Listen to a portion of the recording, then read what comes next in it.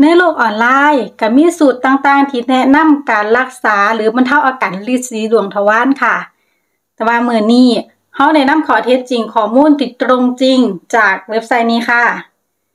จากที่มีผู้ใช้ Facebook เผยแพร่ ข้อมูลวิธีการรักษาโรคฤทธิ์สีดวงทวาร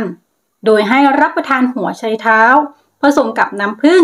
ติดต่อกัน 15 วัน แล้วอาการจะดีขึ้นจนหายไปในที่สุด ได้ตรวจสอบและชี้แจงว่า สูตรการใช้หัวไช้เท้า ผสมน้ำผึ้งรับประทาน เพื่อบรรเทาอาการหรือรักษาโรคฤทธิ์สีดวงทวารเป็นสูตรที่มีการกล่าวถึงในลักษณะการใช้แบบผืนบ้านค่ะ เพื่อการดูแลตนเองและมีการบอกต่อกันมาค่ะ โดยยังไม่สามารถหาแหล่งที่มาของสูตรดังกล่าวที่ชัดเจนได้ และไม่ปรากฏหลักฐานข้อมูล การวิจัยทางคลินิก เกี่ยวกับประสิทธิภาพ ประสิทธิผล และความปลอดภัยของการใช้หัวใช้เท้า